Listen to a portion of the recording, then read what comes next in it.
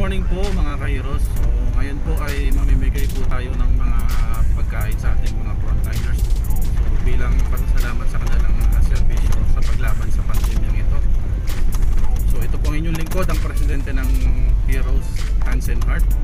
So, kasama po natin ngayon si Kuya Mervin. Siya po ang ating uh, driver ngayon. So, papunta po tayo ng Bulacan para kunin yung ating mga pamimigay. So, ito po yung ating uh, first vlog ng uh, grupo. So, antabayanan po natin yung ating gagawing uh, event ngayong araw. Maraming salamat po. Ayun, nandito po tayo ngayon sa expressway. Meron lang po tayong dadaanan sa Quezon Avenue. Tapos, diretso na po tayo ng Bulacan.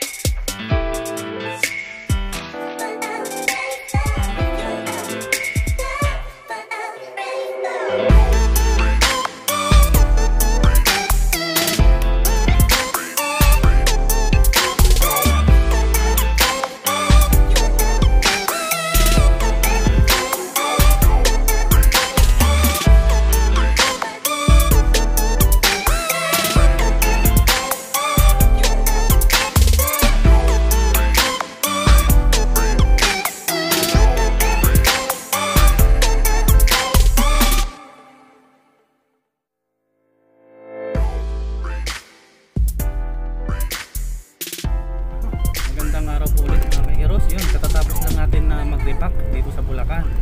So, ngayon ready na po ang ating mga dala at kami po ay the na. At magsisimula na po tayong mamigay ng ating mga simpleng handog sa ating mga frontliners. Yan po ulit ang ating driver, si Bro Melvin. Siya po ang ating kasama ngayong araw. Yun, ang tabihanan po natin yung aming pamimigay ng simpleng handog na pagkain sa ating mga frontliners.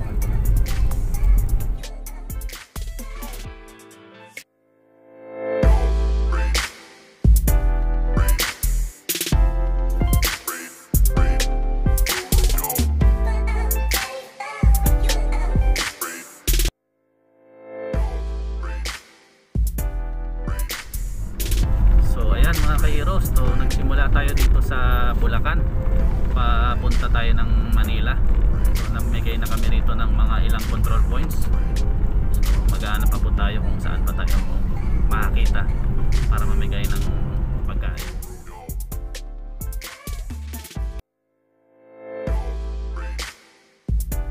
Inabutan na po tayo ng ulan mga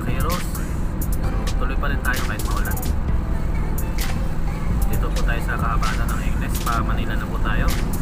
So tapos na po tayo sa Bulacan. Babalik na tayo ng Manila. Afternoon mga kahiros ayun tapos na rin tayo sa ating pamimigay.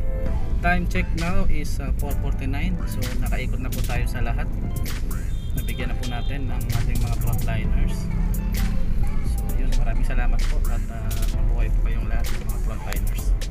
Magandang hapon mga kairos. Pauwi na po kami. At natapos na rin kami sa maghapon naming lakad. So marami tayong nabigyan ngayong araw. Kasama po natin natin masipag na kasama sa grupo, si Kuya Mervin. So marami tayong nabigyan. Mga kasama natin sa MMDA, along EDSA, sa IAC, EDSA Carousel, along uh, Balintawak to TAP.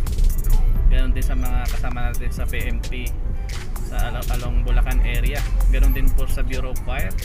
Namigay din po tayo sa Armed Forces of the Philippines, sa Army, Marines, at Air Force. So yun, maraming salamat po sa inyong mga pinadalang tulong at sa suporta. Magandang araw po sa inyong lahat.